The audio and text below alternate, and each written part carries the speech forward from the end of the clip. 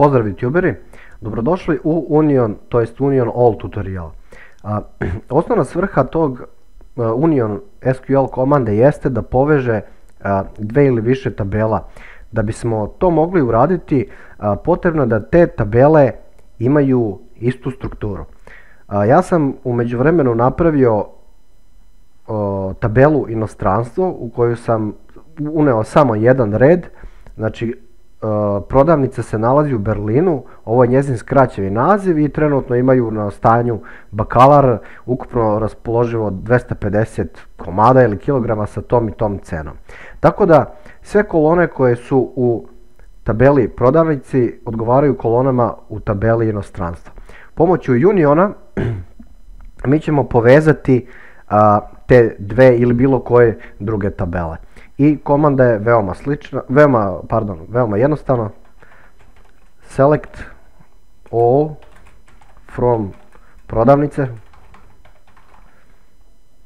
pa enter, union, pa select all from inostranstvo. I to bi trebalo da radi.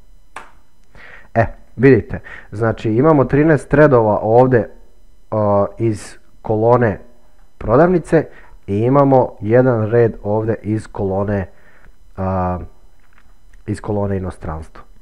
Tako da to je moguće bilo samo ako smo imali istu strukturu uh, te dve tabele. Evo recimo ovako. Describe prodavnice i describe inostranstvo.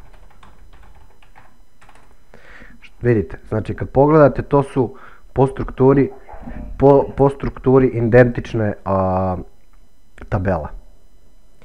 A, dalje što se tiče, rekli smo da imamo union i union all.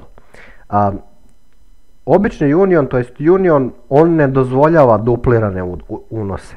Znači kada bismo na primjer ovde gore imali negde a, dup, duplirane unose, a koristili bi union kom, komandu, ne bi bilo moguće izlistati te duplirane unose. A kad stavite union all, to ide ovako,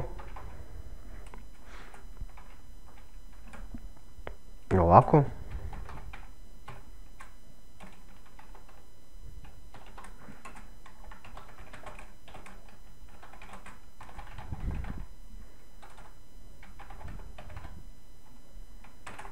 E, opet smo dobili isti rezultat. Pošto ja ovde nisam imao nikakve duplirane podatke, to, to ne možete sad da vidite, ali kažem poenta je, znači union koristite kada želite da duplikate izbacite, a union all koristite kada želite onako što se kaže sve na gomilu. E dobro, naučili smo još jednu SQL komandu, možda će se desiti da će vam a, zatrebati, u svakom slučaju bitno je da znate da ste prošli i ovu lekciju i da postoji ta komanda na raspolaganju u vašem sledećem radu. To je to, vidimo se u sledećem tutorialu.